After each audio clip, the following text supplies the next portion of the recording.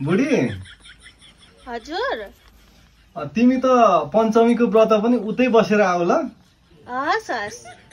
अब तिमीले कहाँ कहाँ हानेको सिग्नेचर त्यो त सबै मेटिसक्यो त।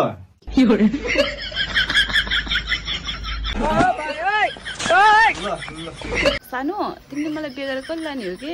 तिम्रो घर जानु मलाई कस्तो हतार भइसक्यो? तिमी जहिले झुट बोल्छौ। बुढी। उदाहरणको लागि। दुईटा बिहे गर्न मिल्दैन भने। अँ मिल्छ। पहिला उदाहरणको लागि तिम्रो घाँटी काट्ने अनि बिहे गर्नु मिल्छ। बुझ्यौ? घाँटी काट्ने र भने। अनि के चाहिँ गर्छौ त?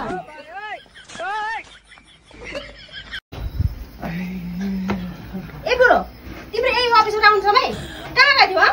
ए, गाडी जाम भयो कि कस्तो आउने बित्तिकै किसिम गरिरह भने तिमीलाई शङ्खा लागेको छ खै यता बस त। फेरि- के भयो?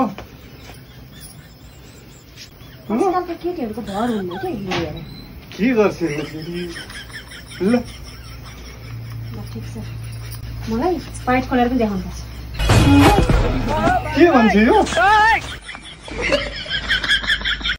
ए बुढो आज एउटा कुरा नढाँटिकन भन त तिमी कुन चाहिँ केटीसँग घुमेर आयो भन त कति शङ्का गर्न सक्या कि म कोहीसँग घुमेको छैन कि त्यसो भए मेरो कसम खाऊ न त ल तिम्रै कसम कोहीसँग घुमेको छैन। त्यसरी कसम खाएर हुन्छ? मेरो टाउको मात्र राखेर कसम खा यसो टाउको ल तिम्रै कसम म कोहीसँग घुम्न गएको छैन। अँ पुगे। मेरो बुढी ज्ञानी छ।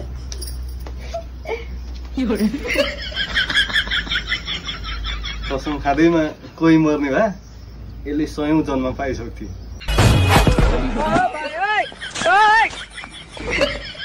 बुढी। हजुर।